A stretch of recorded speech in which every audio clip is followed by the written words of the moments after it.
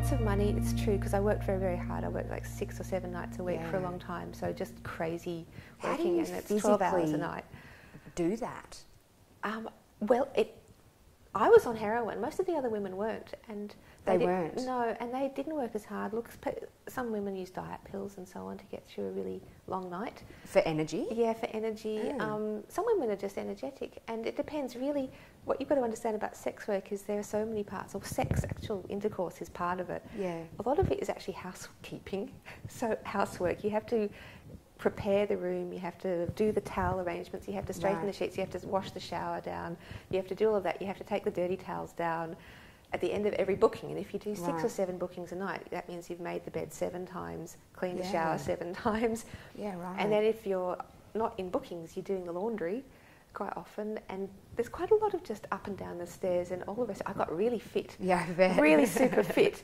Um, and, you know, there's quite a lot of just killing time as well. So yeah, okay. um, it's not all, you know, hammering away at it, you know, for nine or 12 hours a Yeah. night. And a lot of it is also talking. So clients come in and they want to talk. And some just come in and not want sex at all, just want to chat? yeah, absolutely. Some of them would just want to have a cuddle.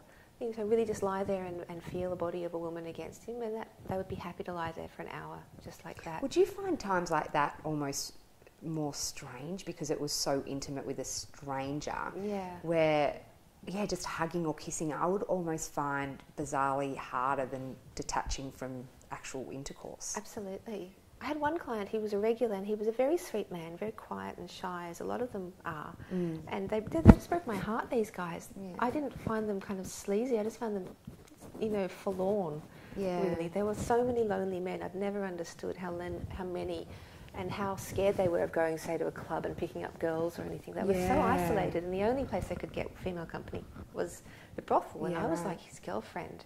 Mm. I suppose, that he could just afford to see once a fortnight, maybe. And he would literally come in and just lie on top of me, like lie his entire length on top of me and hold me for an hour and not speak. Wow. That's all he did, you know. And then we'd have a little chat and he'd get up and leave again. And I just found it really, Yeah. yeah, it was harder to keep the emotional distance because some, it's someone's yearning and loneliness they're that you're in contact with.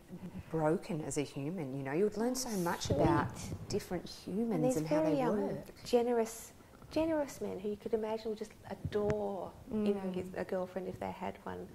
And then other men who were just very confused about what they expected, lots of nervousness. Yeah. And then, you know, young guys would come in all cocky and want to show up to their mates. But you know, once you got them in the room on their own, they were really adorable. Yeah. And then some guys who felt so uncomfortable going into a brothel and feeling like they were weak for doing it and, you know, that they were, must seem desperate right. and that we would be judging them, that they'd be really horrible to us to prove a point Okay. to themselves that they weren't, you know, that, that, that we needed them, not they needed us. and yeah, all that. right, right. You know, the emotional politics of it are fascinating. I and, um, would be. And would you just have to figure out the character and go with? Yeah, Yeah. and kind of, but every now and then I'd get a bit of resistance. So if someone was really treating me with contempt, Mm. I wouldn't have it. Yeah, yeah, You know, yeah. I yeah, just yeah. wouldn't take it. I got better and better. At the start, I was very, you know, um, docile. Yeah, But as I went along, I realised that I was the one that had the power in that room. yeah. I had all the power, really. Mm. Um, and I was happy to, you know, pretend to be a little bit